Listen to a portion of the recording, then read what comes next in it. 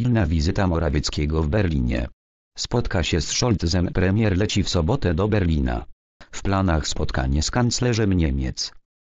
Jak ustaliła interia.pl, w sobotę po południu premier Mateusz Morawiecki wybiera się z pilną wizytą zagraniczną do Berlina. W planie znajduje się spotkanie z kanclerzem Niemiec Olafem Scholzem oraz dyskusja nad zwiększeniem pakietu sankcji na Rosji po agresji na Ukrainę.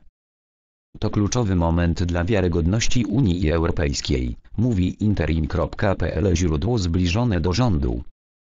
Pobyt polskiego premiera w Niemczech związany ma być również z listem opublikowanym w piątek, który zakłada opracowanie kompleksowego pakietu sankcji polityczno-gospodarczych na Moskwę. Niemcy do tej pory unikały jednoznacznego zaangażowania się w konflikt oraz wysłania uzbrojenia na Ukrainę.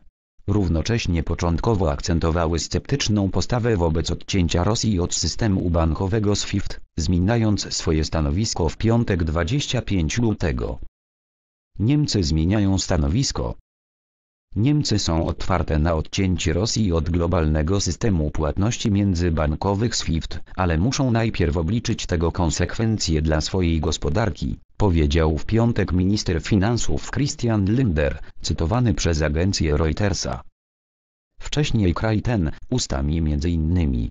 Olafa Scholza sprzeciwiał się wykluczeniu Rosji z systemu SWIFT. Wojna na Ukrainie. Morawiecki chce miażdżących sankcji.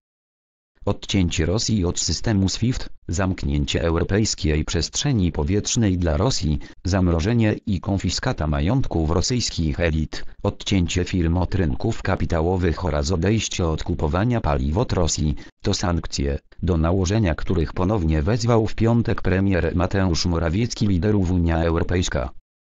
Szef rządu dodał w swoim liście, że należy wprowadzić miażdżące sankcje, które zahamują barbarzyński atak Rosji na Ukrainę.